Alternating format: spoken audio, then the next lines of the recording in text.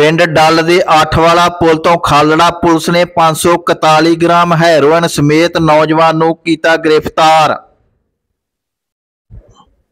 Khalra police ਨੇ 541 gram heroin ਸਮੇਤ ਇੱਕ ਨੌਜਵਾਨ ਨੂੰ ਗ੍ਰਿਫਤਾਰ ਕਰਨ ਵਿੱਚ ਵੱਡੀ ਸਫਲਤਾ ਹਾਸਲ ਕੀਤੀ ਹੈ। ਇਸ ਸੰਬੰਧੀ ਪੱਤਰਕਾਰਾਂ ਨਾਲ ਗੱਲਬਾਤ ਸਾਂਝੀ ਕਰਦਿਆਂ ਸਬ ਡਿਵੀਜ਼ਨ ਭਿੱਖੀਵਿੰਡ ਦੇ ਡੀਐਸਪੀ ਸਰਬਜੀਤ ਸਿੰਘ ਬਾਜਵਾ ਨੇ ਦੱਸਿਆ ਕਿ ਥਾਣਾ ਖਾਲੜਾ ਦੇ ਐਸਐਚਓ ਸਤਪਾਲ ਸਿੰਘ ਵੱਲੋਂ ਮਾੜੇ ਅਨਸਰਾਂ ਨੂੰ ਕਾਬੂ ਕਰਨ ਦੇ ਮਕਸਦ ਨਾਲ ਟੀਮਾਂ ਬਣਾ ਕੇ ਪੁਲਿਸ ਪਾਰਟੀਆਂ ਨੂੰ ਵੱਖ-ਵੱਖ ਥਾਵਾਂ ਤੇ ਭੇਜਿਆ ਜਾਂਦਾ ਹੈ।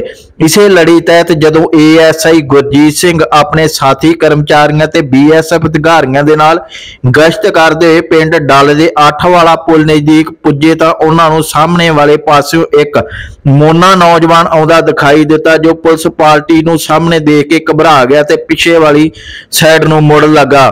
ਸ਼ੱਕ ਦੇ ਆਧਾਰ ਤੇ ਜਦੋਂ ਏਐਸਆਈ ਕਰਮਚਾਰੀਆਂ ਦੀ ਮਦਦ ਨਾਲ ਨੌਜਵਾਨ ਨੂੰ ਕਾਬੂ ਕਰਕੇ ਪੁੱਛਗਿੱਛ ਕੀਤੀ ਤਾਂ ਉਸਨੇ ਆਪਣਾ ਨਾਮ ਪ੍ਰਭਜੀਤ ਸਿੰਘ ਉਰਫ ਪ੍ਰਭ ਪੁੱਤਰ ਰੇਸ਼ਮ ਸਿੰਘ ਵਾਸੀ ਰਾਜੋਗੇ ਦੱਸਿਆ, ਜਦੋਂ ਪੁਲਿਸ ਪਾਰਟੀ ਨੇ ਨੌਜਵਾਨ ਦੀ ਤਲਾਸ਼ੀ ਲਈ ਤਾਂ ਉਸ ਦੇ ਲੱਕ ਨਾਲ ਲਪੇਟੇ ਕੱਪੜੇ ਵਿੱਚੋਂ ਹੈਰੋਇਨ ਬਰਾਮਦ ਹੋਈ, ਜਿਸ ਦਾ ਵਜ਼ਨ 541 ਗ੍ਰਾਮ ਸੀ। ਡੀਐਸਪੀ ਨੇ ਦੱਸਿਆ ਕਿ ਗ੍ਰਿਫਤਾਰ ਕੀਤੇ ਨੌਜਵਾਨ ਵਿਰੁੱਧ ਐਫ ਆਈ ਆਰ ਨੰਬਰ 113 3924 ਧਾਰਾ 21 ਸੀ 296185 ਐਨਡੀਪੀਸੀ ਐਕਟ ਅਤੇ 에ਅਰਕ੍ਰਾਫਟ 10 11 12 ਤਹਿਤ ਮੁਕੱਦਮਾ ਦਰਜ ਕਰਕੇ ਅਗਲੇਰੀ ਕਾਰਵਾਈ ਸ਼ੁਰੂ ਕਰ ਦਿੱਤੀ ਹੈ।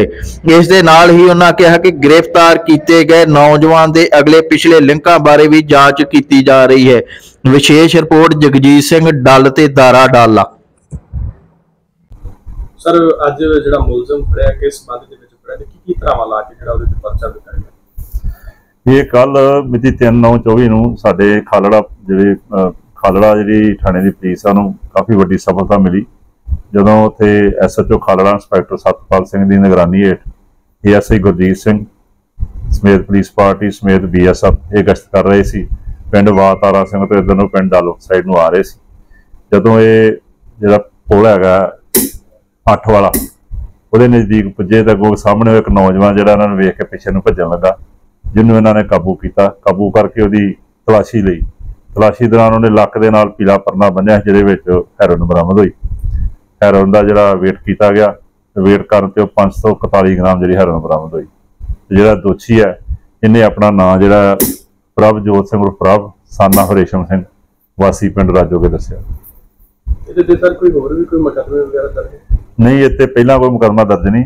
ਪਰ ਇਹਦੀ ਜਿਹੜੀ ਇਹ ਪੁੱਛਗਿੱਛ ਉੱਤੇ ਆਇਆ ਵੀ ਇਹਨੇ 3-4 ਮਹੀਨੇ ਤੋਂ ਇਹ ਕੰਮ ਜਿਹੜਾ ਸ਼ੁਰੂ ਕੀਤਾ ਸੀ ਇੱਕ ਦੋ ਕਨਸਾਈਨਮੈਂਟ ਇਹਨੇ ਪਹਿਲਾਂ ਅੱਧਾ ਅੱਧਾ ਕਿਲੋ ਜਾਂ ਬੋਤਲ ਟਾਈਪ ਸਟਵਾਈ ਸੀ ਜਿਹੜੀ ਅੱਗੇ ਇਹਨੇ ਡਿਲੀਵਰ ਕੀਤੀ।